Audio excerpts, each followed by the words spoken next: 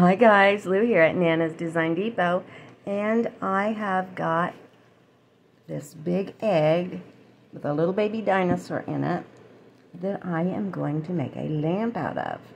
I did one last week and it was my first one and my little granddaughter got the first one.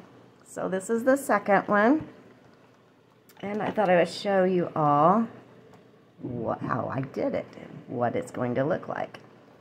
I will have these for sale if anyone is interested, and the little ones as well.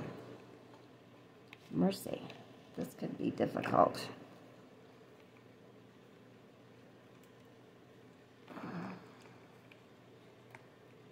Meet my, oh. Here we go, here we go, here it comes, maybe. Oh, it's easier said than done.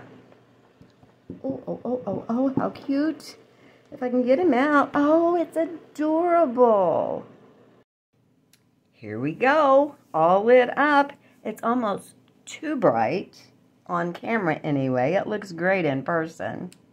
And there it is turned off and back on. So, please give this video a thumbs up. Thanks, guys.